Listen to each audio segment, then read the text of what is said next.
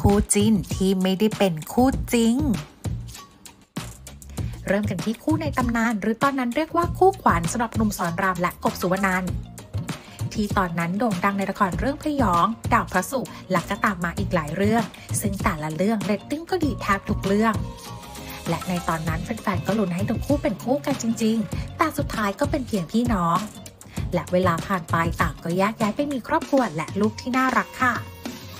ตำนานคู่จิ้นพันข้าวเหนียวเวียสกลวัฒน์และมินพิชยา โดยทั้งคู่เป็นคนจังหวัดขอนแก่นเหมือนกัน และได้ร่วมงานละครคู่กันหลายเรื่อง จนในช่วงหนึ่งมีกระแสข่าวว่าทั้งคู่กิ๊กกักแอบปลูกต้นรักกัน แต่สุดท้ายก็ออกมายืนยันว่าเป็นเพียงแค่พี่น้องและเพื่อนร่วมงานกันเท่านั้นจนผ่านมาหลายปีมีช่วงที่ต่างคนต่างโสด ก็ยังมีแฟนคลับเชียร์ให้คบกัน สุดท้ายหนุ่มเวียก็แต่งงานมีครอบครัว ส่วนสาวมินก็เพิ่งเปิดตัวแฟนหนุ่มนักธุรกิจไปค่ะ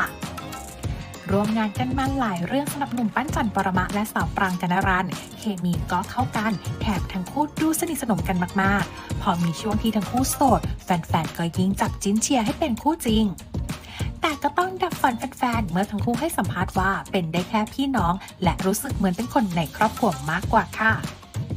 ส่วนทางด้านสาวโฟสกลรักที่ช่วงหนึ่งมีทั้งรูปและคลิปคู่กันหนุ่มหน่องธนาในไอจีออกมาให้เห็นกันบ่อยๆ เป็นทั้งคลิปที่ทั้งหาและน่ารัก จนแฟนๆเข้าไปคอมเมนต์เชียร์ให้เป็นคู่จริงแต่สุดท้ายก็เป็นเพียงแค่คอนเทนต์และทั้งคู่ก็เป็นแค่เพื่อนร่วมงานเท่านั้นค่ะ